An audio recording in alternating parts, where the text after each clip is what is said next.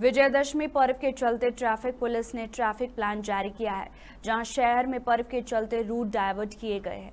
बता दें कि परेड ग्राउंड में आज चारों तरफ़ सड़क सुबह 11 बजे से ज़ीरो जोन रहेगी। यहाँ वाहनों की एंट्री नहीं होगी, साथ ही शहर भर में वाहनों को डाइवर्ट किया जाएगा।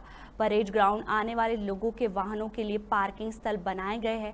एसपी ट्रैफ़िक सर्वेश पवार ने ट्रैफ़िक व्यवस्था बनाए रखने में लोगों से सहयोग मांगा है। देहरादून से ब्यूरो चीफ अवनीश गुप्ता की रिपोर्ट। हमारा जो मेन जो मुख्य कार्यक्रम है, वो परेड ग्राउंड है।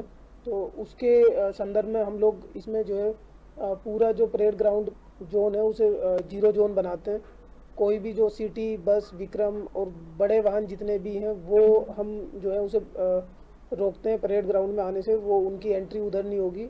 चारों तरफ़ बैरियर रहेंगे और उनका मार्ग जो है, वो बाहर से बाहरी उन्हें डाइवर्ट किया जाएगा। पार्किंग के लिए भी अलग अलग स्थान है जो हमने अपनी दून ट्रैफ़िक पुलिस की वेबसाइट पर भी हमने पूरी पार्किंग स्थल ताकि लोगों को परेशानी ना हो।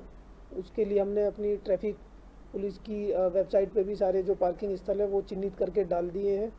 और यही मेन जो है इसमें जो हमारी व्यवस्था है वो इसी तरीके से रहेगी।